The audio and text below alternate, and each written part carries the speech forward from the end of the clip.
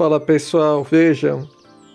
Juscelino Kubitschek, antigo presidente do Brasil. Para fazer o sinal, faremos o sinal de presidente e a, letra J e a letra K, que são as suas iniciais. Então, novamente, a letra P, dessa maneira.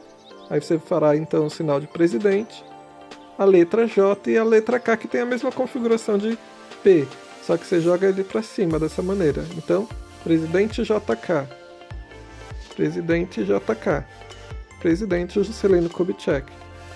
Juscelino Kubitschek de Oliveira, também conhecido por suas iniciais JK, nasceu em Diamantina, 12 de setembro de 1902 e faleceu em Resende em 22 de agosto de 1976. Foi um médico, oficial da Polícia Militar Mineira e político brasileiro. Foi o 21º presidente do Brasil entre 1956 e 1961. JK apresentou um discurso desenvolvimentista e utilizou como slogan de campanha 50 anos em 5. Na presidência, foi o responsável pela construção de uma nova capital federal, Brasília, executando assim um antigo projeto para promover o desenvolvimento do interior e a integração do país. Durante todo o seu mandato, o país viveu um período de notável desenvolvimento econômico e relativa estabilidade política, por seu plano de governo ter sido centrado no desenvolvimento econômico e social, Juscelino tornou-se reconhecido como o pai do Brasil moderno. No entanto, houve também um significativo aumento da dívida pública interna, da dívida externa e, segundo alguns críticos, seu mandato terminou com o acréscimo da inflação, aumento da concentração de renda e arroxo salarial.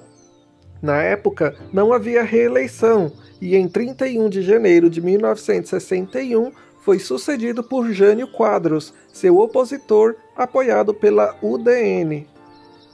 Em 1961, elegeu-se senador por Goiás e tentou viabilizar sua candidatura à presidência em 1965. No entanto, com o golpe militar de 1964, foi acusado pelos militares de corrupção e de ser apoiado pelos comunistas. Como consequência, teve o seu mandato cassado e seus direitos políticos suspensos, a partir de então, passou a percorrer cidades dos Estados Unidos e da Europa em um exílio voluntário. Em março de 1967, voltou definitivamente ao Brasil e uniu-se a Carlos Lacerda e Goulart na articulação da Frente Ampla em oposição à ditadura militar, que foi extinta pelos militares um ano depois, levando JK à prisão por um curto período. O ex-presidente pretendia voltar à vida política depois de passados os 10 anos de cassação dos seus direitos políticos. Em outubro de 1975, concorreu, sem sucesso, a uma cadeira na Academia Brasileira de Letras. Ocupou a cadeira número 34 da Academia Mineira de Letras. Juscelino morreu em um acidente automobilístico em 22 de agosto de 1976 Segundo a perícia e laudo oficial na época, o acidente ocorreu por uma fatalidade normal no trânsito.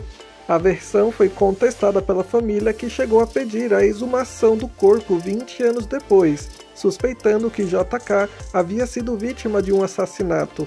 O resultado da perícia confirmou os laudos anteriores. Você gosta do conteúdo deste canal? Não esqueça de deixar o seu curtir, comentar e compartilhar. Até o próximo vídeo.